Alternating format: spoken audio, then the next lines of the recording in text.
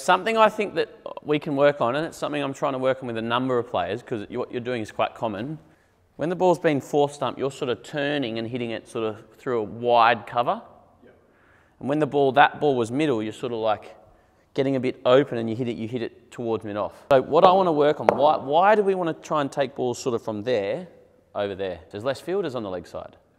So I want you to try and practice and get, be able to get in a position where with a good bat swing, you're not sort of coming across it, but with a good bat swing, you're able to take fourth stump where the camera is right now, yep.